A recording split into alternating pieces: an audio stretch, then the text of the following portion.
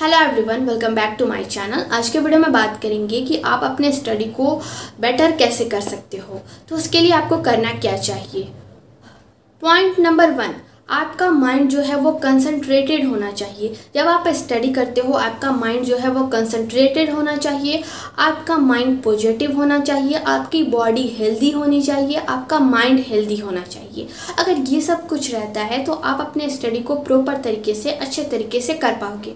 उसके लिए आपको करना क्या है? तो सबसे पहले आपको करना क्या होगा? जब आप रात में सोते हो तो सोने से पहले आपको क्या करना है? नेक्स्ट डे की प्लानिंग कर लेनी है।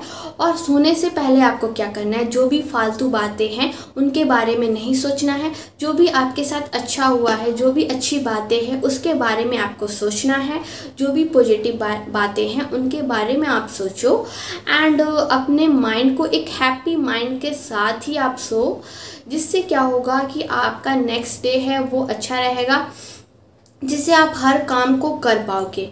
तो आप जब आप सोते हो तो ये मोस्ट इंपॉर्टेंट पॉइंट है कि आपका माइंड जो है, वो सोता है तो वो पॉजिटिव थिंकिंग के साथ सोता है तो आपका नेक्स्ट डे वैसे ही बेटर रहता है।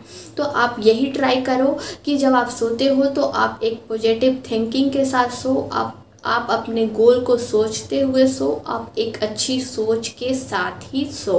नेक्स्ट पॉइंट मैं यही बोलूँगी कि आप एक्सरसाइज करो अपने बॉडी को हेल्दी बनाने के लिए। आप एक्सरसाइज करो हेल्दी फ़ूड लो। आप जंक फ़ूड कम खाओ एंड मेडिटेशन uh, करो एक्सरसाइज करो एंड uh, अपने माइंड को कंसंट्रेट करने के लिए अपने माइंड को कंसंट्रेट रखने के लिए मेडिटेशन ज़रूर करो। एंड uh, कि आपको क्या करना है?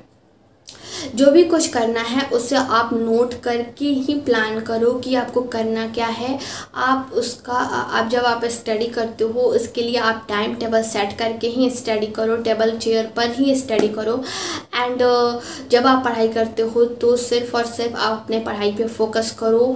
कंसंट्रेट होकर पढ़ाई करो डिस्ट्रैक्शन वाली चीज़ को साइड कर दो। इस तरीके से आप करते हो तो आपका पूरा दिन अच्छा जाता है और आप जो करना चाहते हो, वो कर पाते हो। तो वीडियो को लाइक ज़रूर करना एंड चैनल पर न्यू है तो चैनल को सब्सक्राइब करके बेल आइकन को क्लिक कर लेना। Thanks for watching